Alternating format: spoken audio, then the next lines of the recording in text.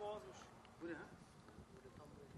Bu su dolu değilmiş o zaman. Su, zaman su dolusuna patlar. Abi dol olma mı ya? Allah ya.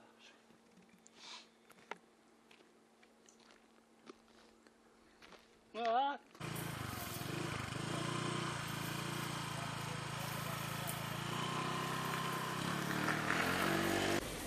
çekme diyor.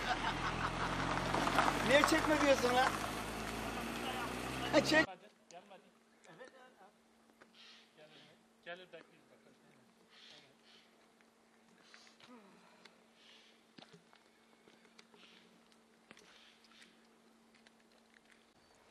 Zaten bekle, sen daha çocuk. Neyim? Ekeği değilim şundan. Valla böyle burada şarampolda yatması bilmiyorum ben. Yani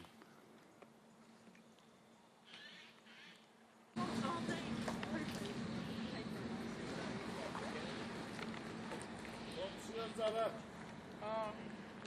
Jest Osman. Sağ ol. Mesut geldin Mesut. Şimşek çakıntısı e, etkili olmuş. Köylülerin söylediği bu.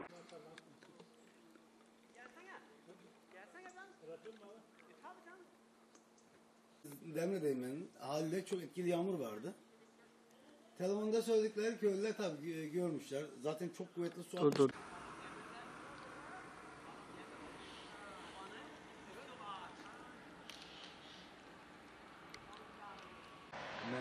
testler biliyorum.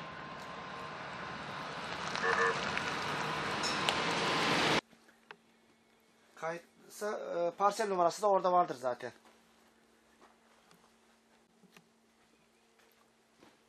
Kapaklı Mahallesi.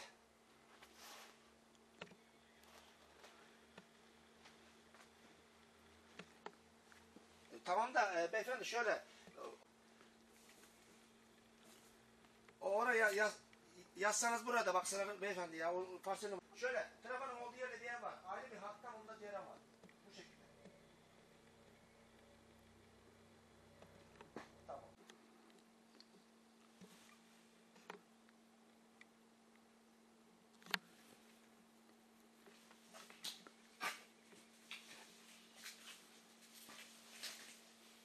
Efendim e, şimdi burası 8 yıllık bir havuz. Dün saat 8.50 sıralarında e, gök gürültülü yüksek e, yağış şiddetiyle yukarıdan gelen seldem içine girdi. Muhtemelen öyle ki e, böyle bir olay oldu. Telefon açıldı saat 8.50 sırasında. Geldim durum bu şekilde. Bu havuz 8 yıldır kullanılıyor ve hep dolu olduğu zamanlar çok Kaç oldu. ton su vardı içinde? 800 bin ton arası su olduğunu keşfediyoruz bu havuzda. Ee, sağlam bir havuzdu. Ama gördüğünüz gibi biz de şaşkın içerideyiz şu anda.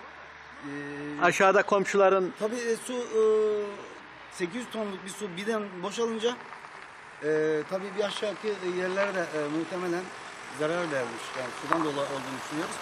Da, e, hemen yakında komşuda da böyle bir